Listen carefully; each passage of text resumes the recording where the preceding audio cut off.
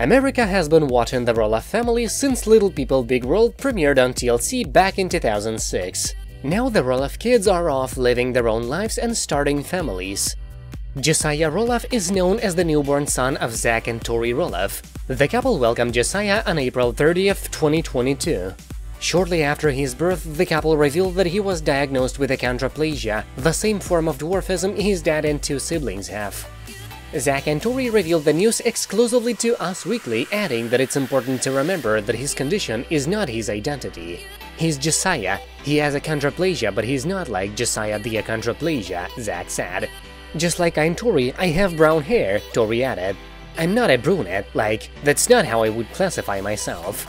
The couple also shares Jackson 5 and Lilah Ray too. Achondroplasia is known as the most common type of short-limbed dwarfism. It ultimately impairs the growth of someone's bones in the limbs and causes abnormal growth in the spine and skull, according to Johns Hopkins Medicine. Achondroplasia occurs about one time in every 40,000 births, and while it is a genetic mutation, only around 1 out of 5 cases is hereditary. Dwarfism in the Roloff family is not uncommon, and Josiah is not the only one to be diagnosed. Along with Josiah, his father and siblings, his grandparents Amy and Matt Roloff also have it. It's so normal to us, Tori explained to Us Weekly. We have so many resources and there's a lot of parents out there who don't have the same resources and don't have the same confidence in everything that Zach and I do.